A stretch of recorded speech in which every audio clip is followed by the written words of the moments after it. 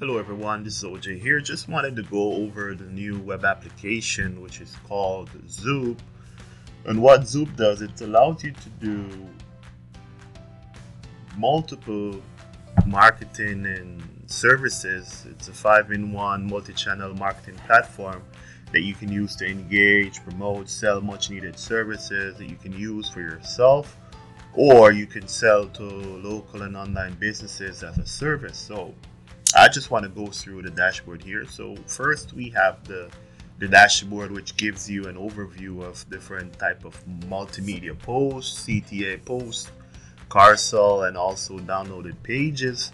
And it's a pretty sleek, nice interface and what you'll find, you'll notice we have different modules here on the left. So the first will be the automatic writing, which allows you to write different types of script. It comes with pre um, pre-built scripts that you can use in your marketing.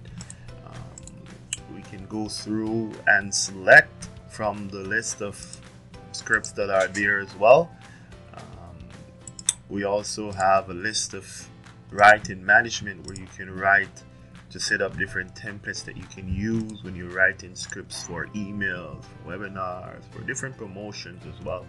Next, we have the Facebook accounts module. As you can see, our link my Facebook account is a pretty two-step process where it works with the Facebook API, so no possibility of getting banned. It's pretty straightforward. We also have the page builder, which allows you to use Zoop with different templates that we have ready to go. And if I should select any of these designs, we could simply create a page. It's a pretty sleek drag and drop type page builder, which you can use to build the pages pretty fast. It's um, is a what you can see, what you get type of editor. So we can simply edit, move stuff around, and we can then download or we can post the design depending on what we want to do. We have different templates that we can choose as well. Next, we have the Facebook posting features for when I added my Facebook account earlier in the video. So as you can see, it's a pretty straightforward process where I can just put in a campaign name. For example, if I want to do a text post, check this out, check this out. Want it to be like a link to a specific affiliate offer of some sort, we could easily use this to set it up. Select the page that I want to post to, which is my fan page. And I don't have any templates at this moment, so I can simply see a preview of what it's going to be about. If I want to post it now, or if I want to schedule it for a later time and for different time zones, we can repeat the, the post depending on the number of time and the interval between the posts as well.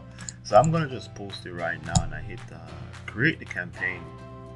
And what the, the application is gonna do is gonna post uh, to Facebook automatically with this powerful interface. Um, interface. So just a few seconds and it will be posted.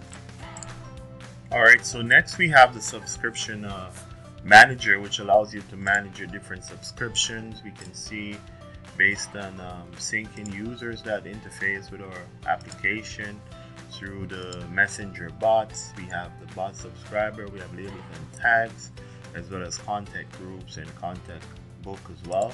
We also have messenger bots which allows you to set up different automation to use within the application as you can see, Zoop is pretty powerful.